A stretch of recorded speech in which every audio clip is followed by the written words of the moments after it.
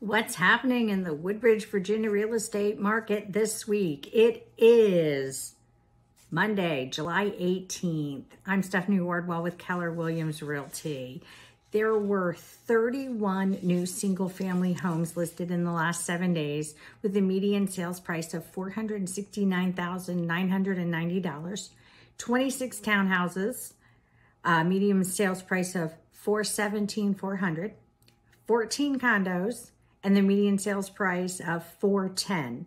There were 88 properties that went under contract the last 7 days. 67 properties sold with the median sales price of $450,000 and the average days on the market for those 67 properties was 6. If there is any piece of real estate that I can help you with, either inside the US or outside, please let me know. I am happy to help. You can reach me at stephsellsva.com or the links below.